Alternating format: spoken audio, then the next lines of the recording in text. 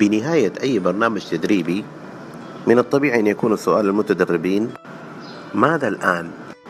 ونجاح أي برنامج تدريبي يقاس بالإجابة على ما الذي تعلمته في البرنامج وكيف سيتم نقله إلى بيئة العمل